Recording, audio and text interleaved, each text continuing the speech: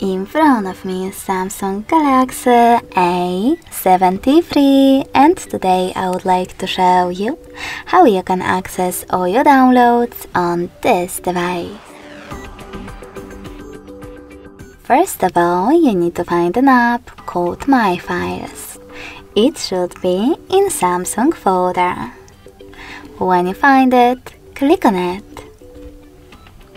Now choose Allow in the pop-up and tap on Downloads category. As you can see, all my downloaded files are over here.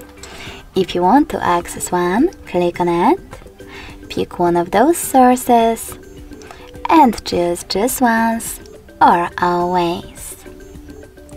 Thanks so much for watching. If you enjoyed this video, smash that like button, comment and subscribe.